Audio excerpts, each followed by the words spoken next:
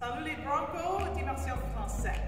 Euh, Est-ce que vous aimez jouer au sport? Est-ce que vous voulez améliorer vos compétences sportives euh, et votre condition physique?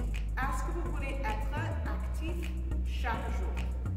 Si oui, choisissez, euh, choisissez euh, l'éducation physique en français pour 11e année. Healthy Active Living. Le code du cours est PPL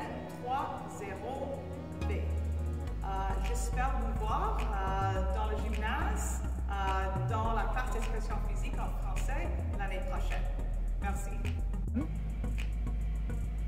Voulez-vous aider vos pairs, devenir leader, contribuer à votre communauté?